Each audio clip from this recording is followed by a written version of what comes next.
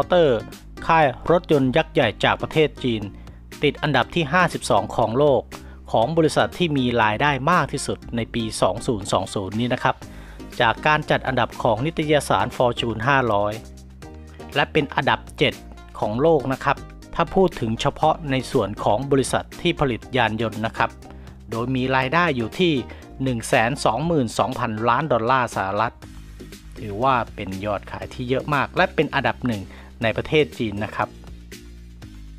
และทาง s a x Motor ก็ได้มีการเปิดตัวรถยนต์รุ่นใหม่ ๆ และเทคโนโลยีที่ทันสมัยอย่างต่อเนื่อง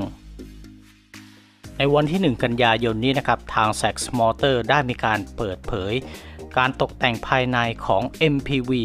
l o w i iMax 8 นะครับครับมาดูมิติของตัวรถของ l o w i iMax 8ก่อนนะครับ l o w i iMax 8มีความยาวอยู่ที่ 5,016มิลลิเมตรความกว้าง 1,909มิลลิเมตรและความสูงอยู่ที่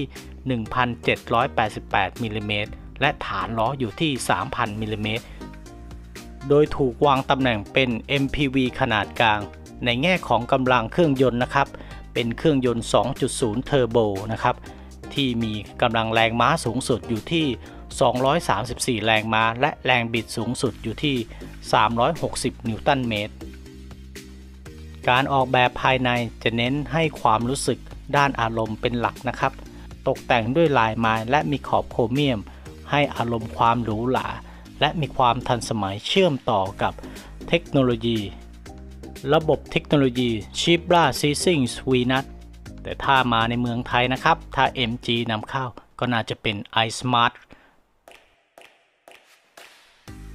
มีจอ LCD ขนาด 12.3 นิ้ว และหน้าจอควบคุมตรงกลาง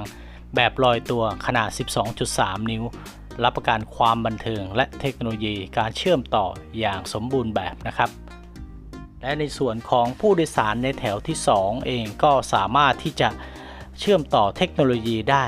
โดยมีหน้าจอสัมผัสที่เบาะหลังของแถวหน้า สามารถเชื่อมต่อฟังก์ชันความบันเทิงได้อย่างสมบูรณ์แบบเลยนะครับ และที่วางแขนตรงกลางก็จะมีชุดกาแฟและชาพร้อมเสิร์ฟภายในตัวเลยนะครับ ถือว่าเป็นความสะดวกสบายของคนขับและผู้โดยสารเลยนะครับ ว่าง่ายๆ ก็คือมีสิ่งอำนวยความสะดวกครบครันนะครับในรถรุ่นนี้นะครับ ถือว่าเป็น MPV ที่มีความทันสมัยและหรูหราอย่างมากเลยนะครับ สามารถสู้กับ Toyota a l p a r d หรือ Honda Odyssey ได้เลย หวังว่าทาง MG ประเทศไทยจะได้นำตัว l o w i iMac 8 เข้ามาทำตลาดในเมืองไทยบ้างนะครับ จะได้เป็นตัวเลือกให้กับผู้บริโภค และเสริมโปรดักให้ครบทุกเซกเมนต์หวังว่าเราคงจะได้เจอตัว MPV รุ่นนี้ในเมืองไทยนะครับ ผิดพลาดประการใดต้องขออภัยด้วยนะครับสำหรับวันนี้ สวัสดีครับ